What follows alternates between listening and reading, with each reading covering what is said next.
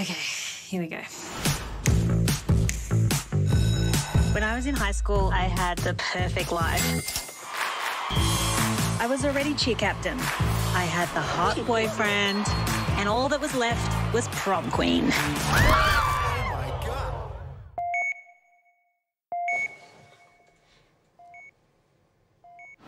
There's been a mistake and I've been put in the wrong room. Dr. Johnson's the third floor. The cheerleader just woke up. Don't mean to be a bitch, but cheer captain.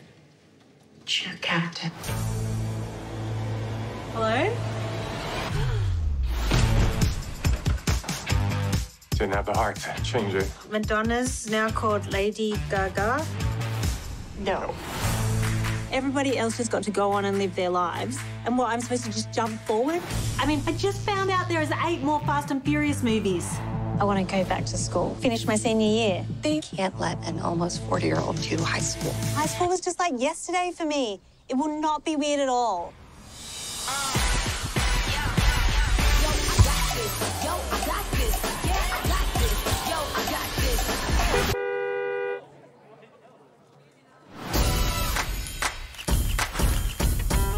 Where do the popular kids sit? We're all popular. Oh, no, no, no. There's only like three ways to become popular. To be a cheerleader, to work at Abercrombie, or to let guys go in the back door. What? Oh my god, I must be really popular then.